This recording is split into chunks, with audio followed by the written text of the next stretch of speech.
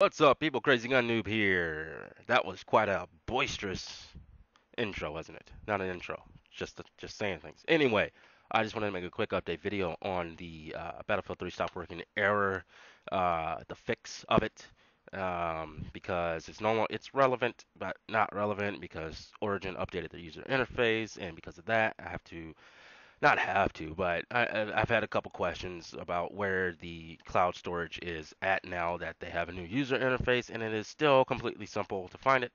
Um, all you have to do is you go into Origin, just like before, you click on Origin. Up here, you click on Application Settings, then you go to Installs and Saves, and bam, bam, there she is. You click off, and it's done. That's it. You exit out, and then you bring up Battlefield 3 and hopefully, man, it worked for you. Um, there's also a second way to get to the cloud storage that I was just told about today uh, from a commenter that left a message on the other video. Not a message, but a comment on the other video. All you have to do is you bring up Origin, go to my library, right click the game, go to game properties, then go to clouds and saves, and bam, shika bam, bam. There it is. You unclick, click save, call it a day. That's what that's how it works. Call it a day or something like that. But yeah, seriously, that's just that's that's it's it's very simple to do it, uh, and for a lot of people, it actually works. Don't don't ask me why, but it does. I guess because after you wipe the settings or you take out the cloud storage, maybe something in the clouds messed up. Who knows?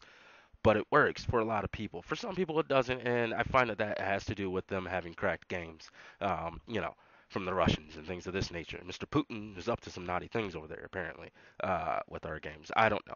But uh, for, I would say, at least 80% of the people um, doing this simple little thing actually will get you back into BF3. Now, I don't know if it'll work for BF4. I've had, myself had a couple of uh, um, uh stop working errors with BF4. I've had it where my settings in the game while I'm playing have just reset themselves, and you know I I fly the fucking or excuse me I fly the helicopter into the ground, um, and it sucks because you know you work so hard to get these key bindings exactly the way you want them, and then bam, you got to go back and do it again. I don't know what that is. I, am currently trying to figure that one out. Uh, but as far as BF3, um, this this fix seems to work for a lot of people. Um, so I hope that it works for you. I hope that uh, you're able to find the cloud storage easier now.